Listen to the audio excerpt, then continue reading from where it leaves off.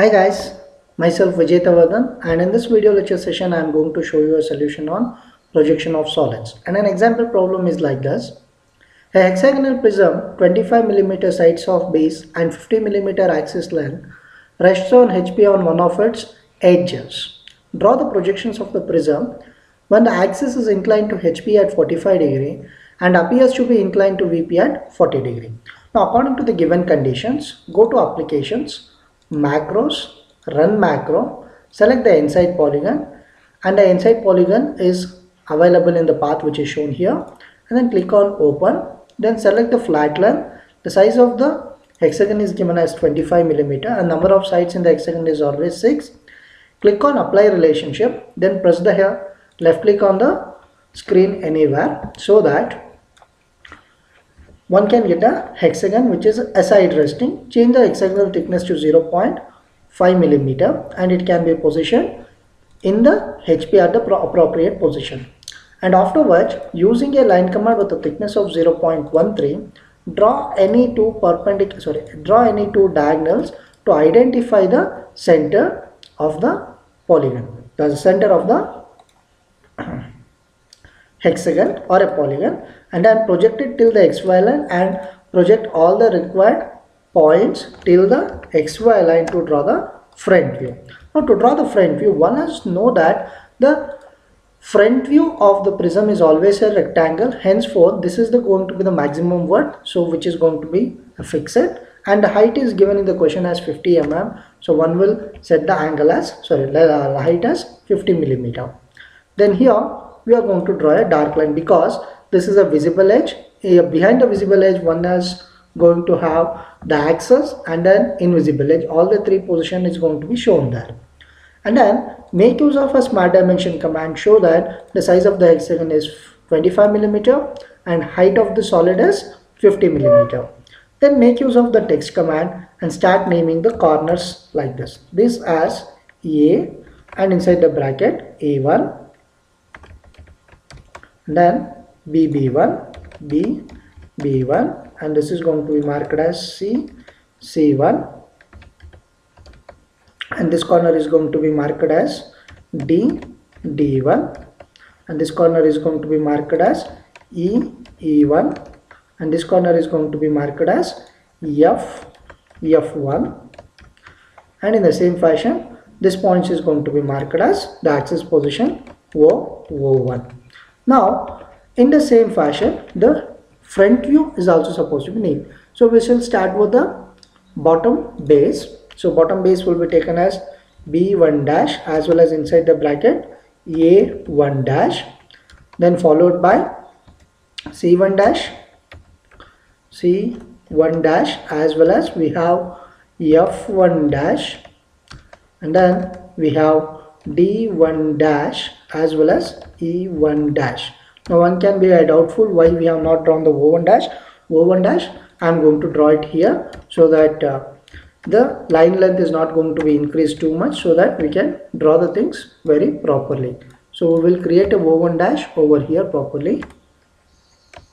Now O1 dash has been represented there and after these representations now we have to go with the top base namings. Now in the top base this will be named as B dash as well as A dash and then we have C dash as well as F dash and also O dash here it can be marked very easily and then D dash as well as E dash. Now after giving the markings then what is the next stage? The next stage is axis is inclined to HP at 45 degree for which one has to select the front view. Go with the command called as move. Move the front view with respect to the resting edge E1 dash it should be repositioned on the xy line at a convenient distance. Then go for rotate command. Select the base E1 dash to B1 dash and the base edge inclination is 90 minus angle theta that is 90 minus 45.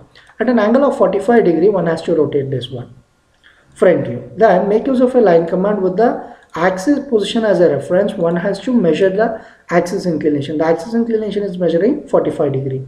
Then one can proceed to the next stage. Now with the line command with a continuous line and a 0.13 mm as a thickness, start drawing the respective projectors. Now the respective projectors while drawing we should be very very careful because the number of lines are keep on increasing here so which may leads to confusion. So without any confusion one has to complete the drawings here. Now b dash a dash is going to be projected till here. And this a d and this is going to be the c1 is going to be projected up to the c1 here. And then b1 is going to be projected up to here. So here let us log the value as 90 degree and then so BA is supposed to be up to here so we'll uh, trim off this portion. And the axis portion is not yet drawn so we'll draw the axis position. So the axis portion is going to be drawn from here to here. Now this is nothing but the axis line. So we'll take this axis line position as axis line directly which can be shown here in this problem very clearly. Then make use of uh, the text command and start naming the respective corners what we have projected now. This will be taken as a1 b1 c1 and this is going to be d1 and e1 and f1 accordingly this will become o1 in the same fashion this will be o. And then we have a b c d e and this is going to be f now Using a line command with 0.5 and a continuous line, one has to complete the boundary line according to the rules of visibility. Now the boundary line A1, B1, C1, C, D, E, F, F1 and A1 is going to be the boundary line. And the second point is identify the visible base and make it visible. This is what the visible base. Go to the line command with the same thickness of 0.5 the base edges that is F to A, A to B, B to C is going to be the visible edges. And after making this as visible edges, identify the invisible base. The invisible base will be obviously the bottom base. Then that has to be joined as a dashed lines. That is F1 to E1. The intersection symbol has to be uh, obtained here. Now we got an intersection and D1 is endpoint and again C1. Now I'll just uh, relocate the position of E1 over here so that it is going to improve the visibility. Then we have to join the longer edges. Now whatever the longer edges what we are going to draw here which we has to be visible and invisible. Now EE1 is going to be joined as an invisible edge because it is passing inside the visible base and also DD1 is going to be joined as an invisible line because it is passing inside the visible base. In the same fashion, the next is visible edges that is A, A1 is going to be the visible edge because it is passing inside the invisible base. Now BB1 is also passing inside the invisible base hence it is also supposed to be the visible edge. Now the CC1 and FF1 is going to be the boundary which is already drawn. Now one can see that the projections has been completed as per the given conditions. Now after this, what is the next stage? Now the axis appears to be inclined to VP at 40 degree. Now one can see that the length of the axis is getting reduced from 50 to 35.36 but the given angle is the apparent angle. So this axis O1 is drawn at apparent angle 40 degree. For which one has to go for a line command with a continuous line and 0.13 mm thickness and just draw a inclined line like this. Then the angle of this line is supposed to be set for 40 degree which is given in the question. Then whatever the extension which is going there can be trimmed. Now after this then we know that O and O1 is supposed to be on this line. So what I'll be doing I'm going to move this 40 degree line slightly towards the right side so that we will get more by better space. Then I will select the top view then I'll go with a move command. Move with respect to the O1 O1 is supposed to be on the angle beta line. And then go for rotate and select A1 is already on the beta line and O should be on the beta line that is on the 40 degree line now one can see that the rotation is being completed. Then go with a line command with a thickness of 0.13 start drawing the projectors to get the front view in this stage. Now starting with D I will connect D to D. And along with D we have E. So as I told you and I'm, as I'm keep on stating you the number of lines are keep on increasing here. The patience is so much important to draw the lines here so we are about to complete one of the phase and then to get the O get the endpoint symbol of the axis which we have drawn and that has to be projected till here. Then the bottom base one base is finished. We shall go to the bottom base. D1 is up to the xy line as well as e1 is also up to the xy line. Then c1 is up to this height. So just move the cursor to get the c1 position so along with c1 we have f1 as well as axis o1 to get the axis move the cursor on the axis line you will get the endpoint symbol so connected. Then a and b is remaining. So we shall complete the a and b. So b is completed. The final remaining one is a. So a is going to be completed. Now once all these lines has been drawn then make use of the text command. Start naming the corners now this will become a1 dash and this will become b1 dash and this will be c1 dash. And then this is going to be uh, d1 dash. So d1 dash is here.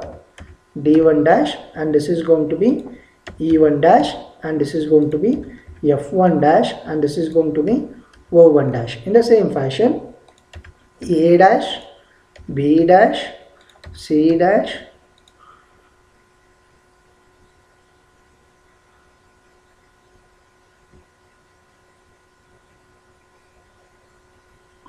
D dash, E dash and this is going to be F dash and this is going to be O dash.